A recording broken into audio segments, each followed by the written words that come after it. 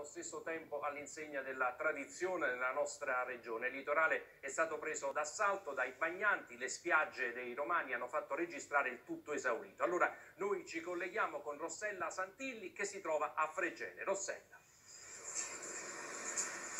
Sì, buonasera, buon Ferragosto, siamo al tramonto su questa spiaggia di Fregene che ha visto registrato, ha registrato un, veramente un pienone di presenze negli stabilimenti.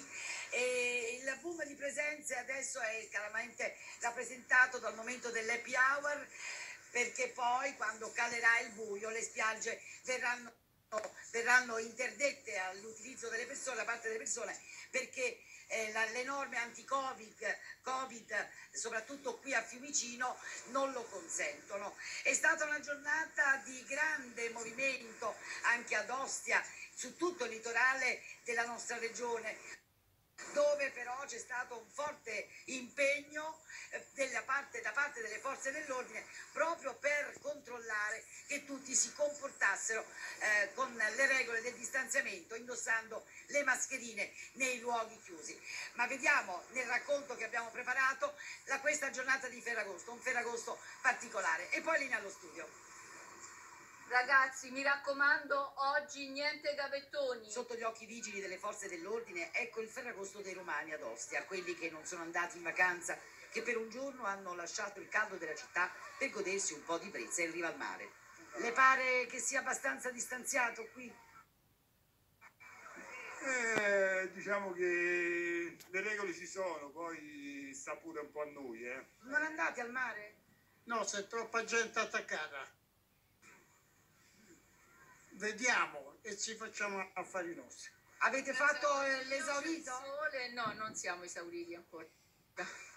Di testa sì, ma gli ombrelloni ci sono ancora, sì. Norme di sicurezza vengono contestate?